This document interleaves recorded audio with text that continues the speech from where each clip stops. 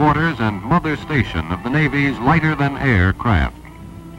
From this center, blimps are fitted out for service all over the world on missions of escort, convoy, anti-submarine patrol, minesweeping, and air-sea rescue. And back to the shops at Lakehurst, blimps return for inspection and reconditioning after months of service in the corroding sea air and humid tropics. So here, personnel are trained to become lighter-than-air pilots, mechanics, riggers, radio men, and repairmen. As the ships in the course of major overhaul pass through the fabric, car, and engine shops, the trainees are instructed in both theory and practice. More than 8,500 officers and enlisted men have graduated from the Lakehurst schools. A course in ballooning starts the training of the future blimp pilot. Basically, a blimp is a streamlined balloon with motors to drive it and rudders to steer it. So an understanding of ballooning is needed in case the blimp motors fail. Free ballooning also gives first-hand knowledge of atmospheric structure, aerostatics, and airship control by use of ballast and valving of lifting gas.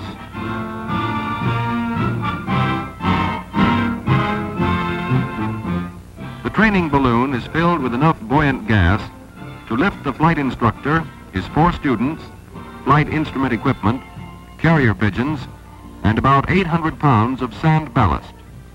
They're off, gone with the wind, which carries them at its own speed and in its own direction.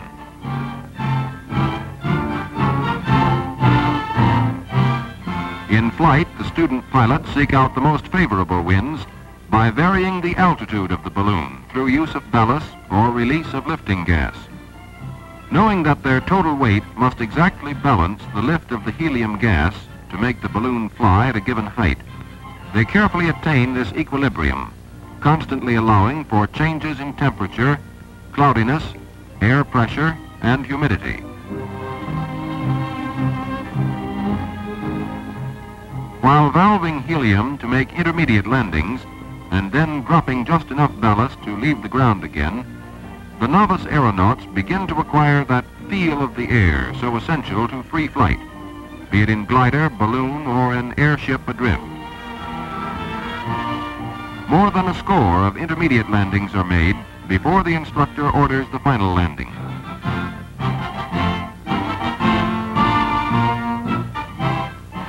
Emergency landings in difficult terrain may be in store for the future blimp pilots, so bare and level spots are not necessarily chosen for training landings.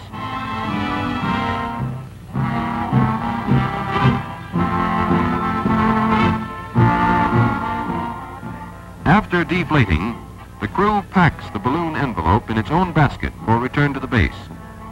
Five instructed flights and a solo flight finish this preliminary phase of pilot training. Here in the classroom, student pilots get down to earth to wrestle with courses in aerodynamics, aerostatics, navigation, aerology, and a dozen other technical subjects on airship piloting, maintenance, and repair. Instruction of groups speaking a foreign language, such as these Latin American Allied officers, requires the assistance of a Navy interpreter.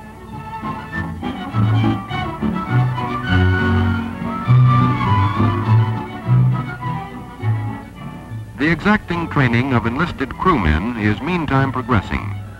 Each man takes his part in a complete airship overhaul during six months of classroom and manual work.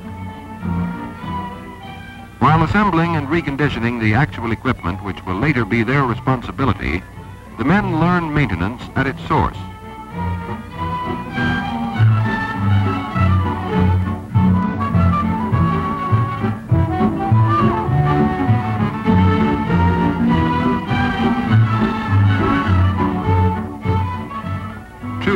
550 horsepower Pratt & Whitney engines give the airship about four times the speed of a destroyer escort, with many times the DE's range of visibility.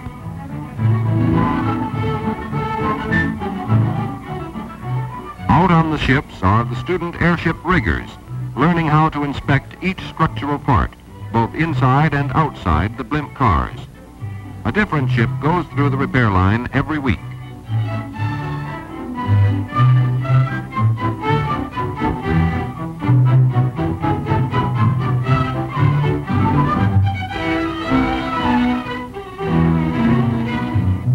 Meantime, the student pilots are proving flight theories in dynamic flight.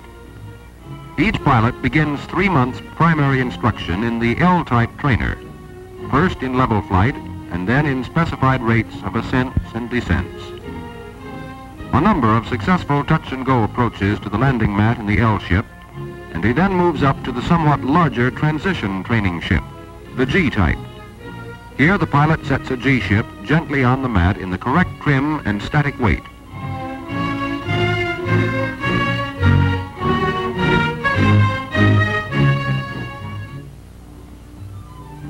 Advanced shop training for the enlisted men includes inflating and rigging a complete airship.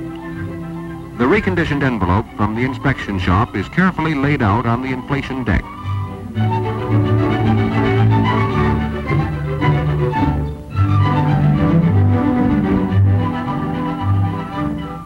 Most of its length of 253 feet is covered with an inflation net to restrain the bag while it is being filled.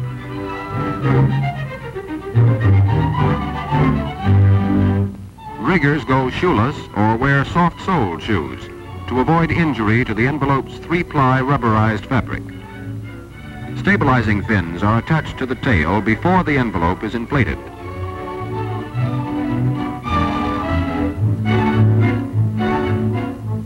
Sandbags attached to the edges of the inflation net counteract the lift of the gas and keep the big bag from surging.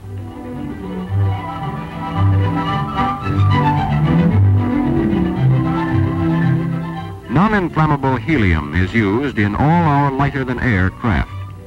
A half million cubic feet fills a K-ship envelope such as this one, with some left over for its first topping up.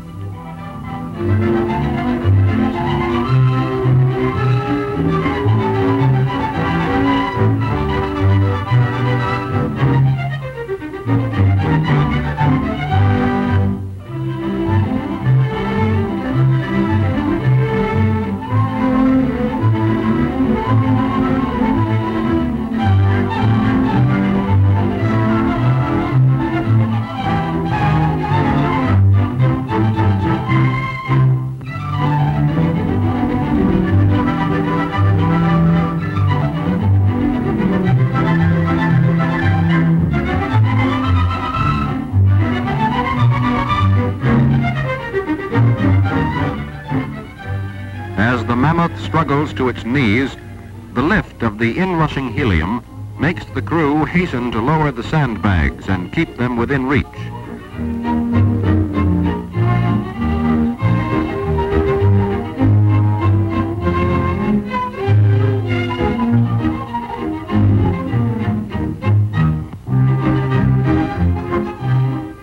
The control car is now rolled into place under the belly of the ship. Weighing 10 tons, fully loaded, the 45-foot car carries not only the driving power of the dirigible, but fuel for the engine, electric power for a maze of radio and electronic equipment, and a crew of 10 officers and men.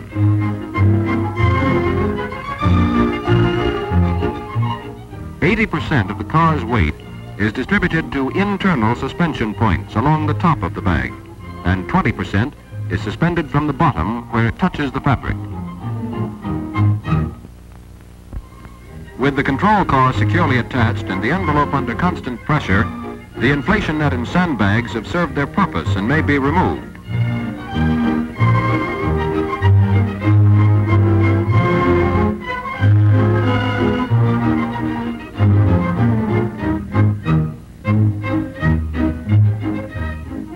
The net is bunched together at the center of the ship so that it may be lifted aloft and held ready for lowering over the next airship to be inflated.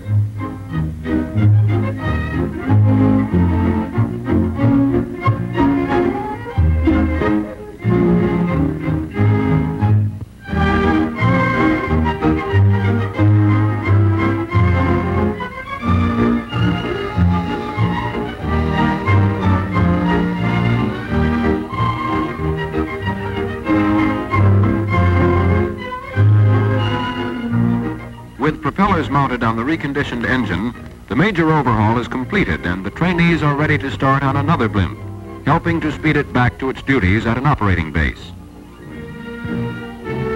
During the final phase of the enlisted men's ground training, the student pilot is undergoing his last primary flight checks, soloing in an L ship. If he passes, he will move to the final K ship training with a complete operational flight crew.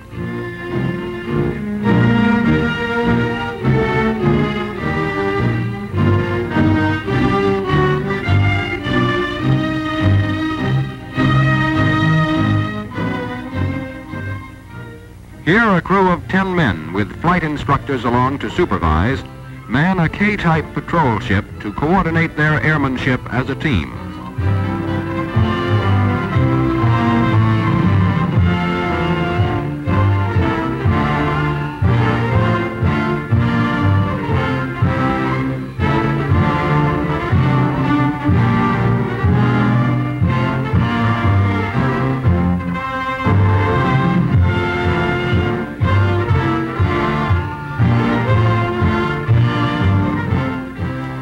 Routine duties of pilots and crewmen soon become habits, and emergency measures are rehearsed until they too are performed instantly and instinctively. Now the trained crew goes through active service maneuvers, preparing for combat or utility missions, rescue jobs, or abandoned ship orders. Varieties of weather constantly add to the experience of the team which in actual operations may have to handle efficiently a hundred different types of missions.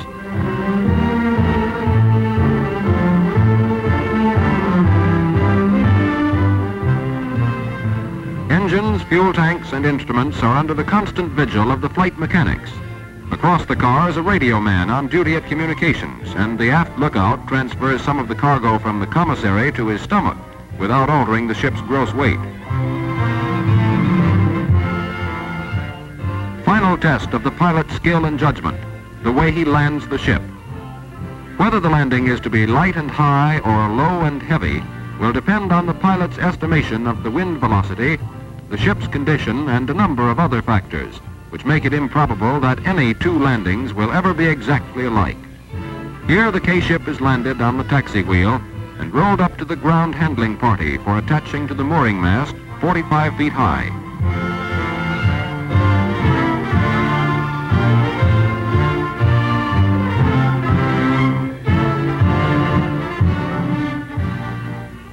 Before being designated naval aviators or combat air crewmen in the airship branch, officers and men are assigned to actual missions.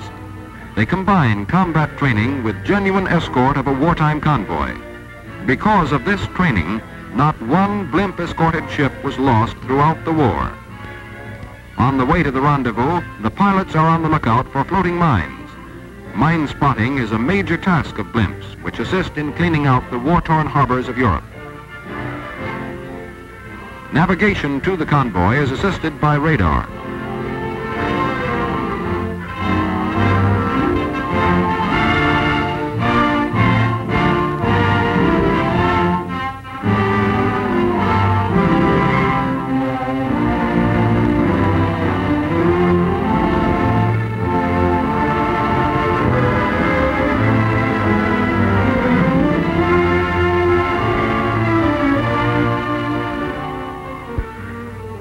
Way home, the pilot instructor makes a practice bombing run on a simulated sub.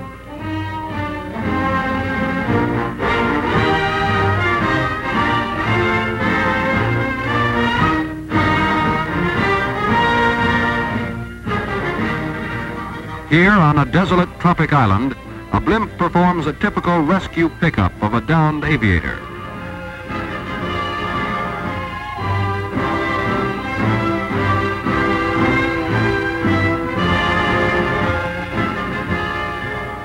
If a wheel landing is not feasible, the victims of a crash are lifted to the ship in a rescue ring. The same crew that learned to hold the ship motionless over the training field in the States here hauls a survivor aboard in the wasteland of Brazil. Aviators down in the water anywhere within the cruising radius of a blimp have lived to fly again, thanks to this buoy here lowered to a survivor.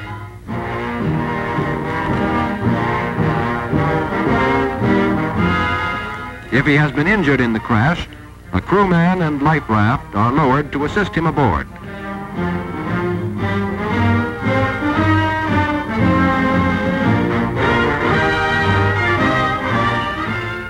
Thus, the highly trained crews of lighter-than-air men move on from Lakehurst to strategically placed bases in both hemispheres. From these centers, three million square miles of waters are guarded by the lighter-than-air arm with missions of guardianship, combat, and mercy.